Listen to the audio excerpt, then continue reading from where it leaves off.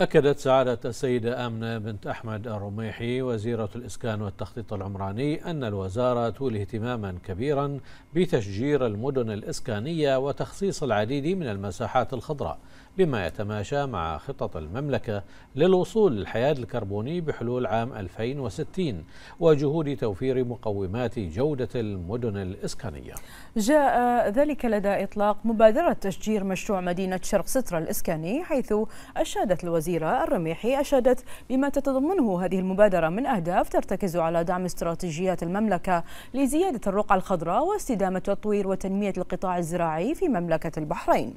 وقالت الرميحي إن مبادرة تشجير مدينة شرق سترة تعد الثانية من نوعها بعد إطلاق مبادرة تشجير مدينة شرق الحد في وقت سابق مشيرة في هذا الصدد إلى إطلاق مبادرة جديدة في مدينة شرق سترة تتمثل في منح كل منتفع بوحدته السكنية شتلة زراعية بهدف التشجيع على الزراعة داخل الوحدات السكنية.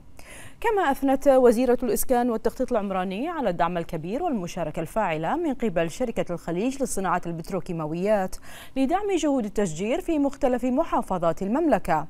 من جانبها أشادت سعادة الشيخة مرام بنت عيسى الخليفة الأمين العام للمبادرة الوطنية لتنمية القطاع الزراعي أشادت بجهود وزارة الإسكان من خلال ما توليه من اهتمام كبير بتشجير المشاريع الإسكانية لزيادة المساحات الخضراء والذي سيسهم في تقليل درجة حرارة الجو بالإضافة إلى الفوائد النفسية التي يوفرها التشجير. من جانبه أكد المهندس ياسر عبد الرحيم العباسي الرئيس التنفيذي لشركة الخليج لصناعة البتروكيماويات أن التأثير البيئي الإيجابي لحملة التشجير يدفع الشركة لمواصلة تقديم دعمها للمراحل القادمة من هذه الخطة لتصبح المملكة أحد المواقع المهمة لتنفيذ المبادرات البيئية التي من شأنها الإسهام بفاعلية في تعزيز عناصر الاستدامة ونشر الوعي المجتمعي حول أهمية الزراعة.